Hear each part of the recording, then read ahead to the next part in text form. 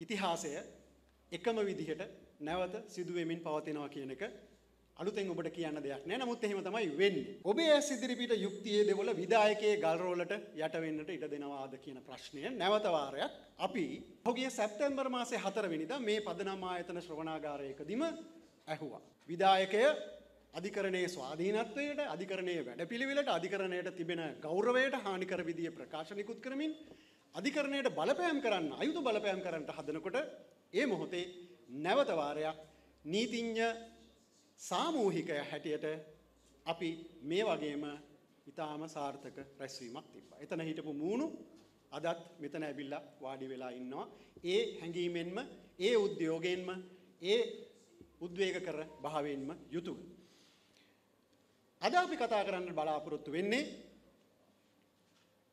තවත් මාතෘකාවක් අපි ඒකට නම තියලා තියෙන්නේ no shut up laws කටවහන නීතිය එපා කියලා මොනවද මේ කටවහන නීති කියන එක ගැන අද මෙතන තියෙන අදහස් දැක්වීම වලින් ඔබට ඉතාම හොඳින් පැහැදිලි වේවි.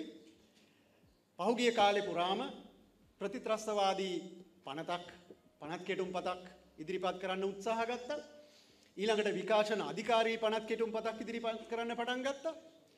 ඊළඟට අවසානයේ මාර්ගගත ආරක්ෂාව පිළිබඳ ඔන්ලයින් සේෆ්ටි පිළිබඳව පනත් කෙටුම් පතක් ඉදිරිපත් වෙන්න පටන් ගත්තා. වරින් වර වරින් වර මේ විදිහට මහජනතාවගේ ප්‍රජාතන්ත්‍රවාදී අයිතිවාසිකම් වලට බරපතල ලෙස බලපාන නීති කෙටුම්පත් එක දිගට එන්නට පටන් ගත්තා. මේ හැම නීතියකම තිබිච්ච විශේෂතා දෙකක් තිබුණා.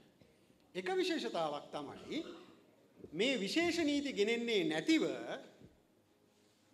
රටේ දැනටමත් සාමාන්‍ය නීති යටතේ පවතින නීති සංග්‍රහවලින් මේ සියලු වැරදි ආවරණය කරන්නට පුළුවන් වීම.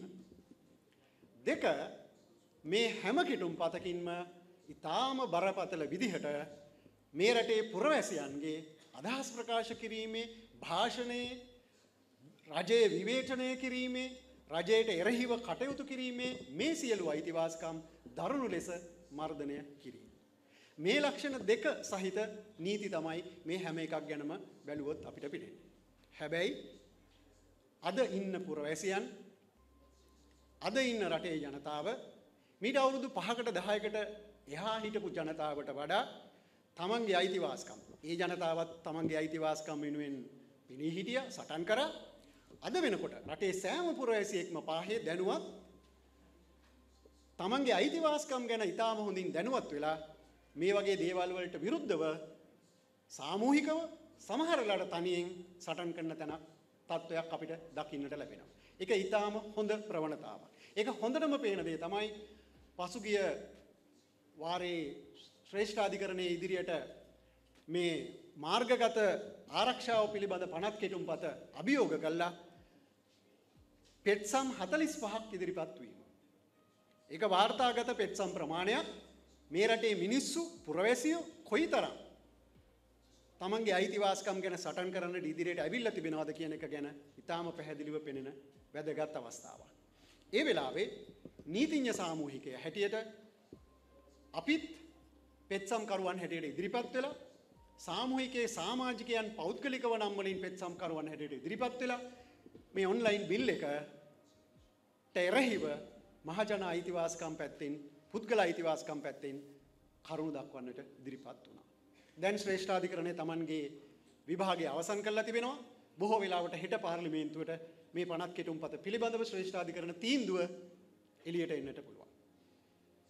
ඒ තීන්දුව මොනවා වුණත් අපේ බලාපොරොත්තුව මෙවැනි නීතියක් මේ රටට අවශ්‍ය නැතිය කියන එක. මෙවැනි නීතියක් මේ රටට අවශ්‍ය නැතිය කියන එක. මේ නීතියෙන් මේ රටේ පුරවැසියන්ගේ අයිතිවාසිකම් උල්ලංඝනය කරනවා පුරවැසියන්ගේ අයිතිවාසිකම් දැඩි ලෙස මර්ධනය කරනවා ඒකට විරුද්ධව කටයුතු කළ යුතුයි කියන එක. ඉතින් නීතිඥ සාමූහිකය කල්පනා කරා මීට ඉස්සෙල්ලා අපි සැප්තැම්බර් මාසේ හතරවෙනිදා පවත්වපු සම්මන්ත්‍රණය ඊට පස්සේ ඔක්තෝබර් මාසේ තුන්වෙනිදා ගාල්ලේදී එවැනිම සම්මන්ත්‍රණයක් අපි පැවැත්තුවා ඊට පස්සේ මේ විදිහටම මහජනතාව සමග සංවාදයේ යෙදෙන්නට අපි මහජන සභාවක් පවත්වන්නට ඕනයි කියලා. ඒ අදහස නීතිඥ සාමූහිකය පමණක් කරන්නේ නැතුව අපි කල්පනා කරා අපෙන් වියුක්තව අපෙන් බාහිරව මේ රටේ විශාල සංවිධාන සංඛ්‍යාවක් වෘත්තීය සමිති පුරවැසි සංවිධාන රාජ්‍ය නොවන සංවිධාන සහ පුරවැසියන් මේ කටයුතු සම්බන්ධින් ඒ වෙනකොටත් දීර්ඝව ක්‍රියාකාරීත්වයේ යෙදමින් සිටියා සටන් කරමින් සිටියා Tamanගේ එකතුව සහ වෙන්වෙන්ව නීතිඥ සාමූහිකය කල්පනා කරා මේ අයවත් එකතු කරගෙන වඩා පුළුල් විදිහට මේ හඬ නගන්නට ඕනයි කියලා. ඒ නිසා අද අපි අද මේ වේදිකාවේ කතා කරන්නට බලාපොරොත්තු වෙන්නේ නීතිඥ සාමූහිකය ඒ වගේම පුරවැසි සංවිධාන ඒ වගේම වෘත්තීය සමිති ජනමාධ්‍ය සංවිධාන මේ ආදී සමාජයේ හැමතිස්සෙම හැම දෙයකදීම මිනිසුන්ගේ අයිතිවාසිකම් වලට හානියක් සිද්ධ වෙන වෙලාවක ඉදිරියට ඇවිල්ලා කටයුතු කරන සංවිධාන රාශියක් සමගයි අද අපි එකතු වෙන්නේ.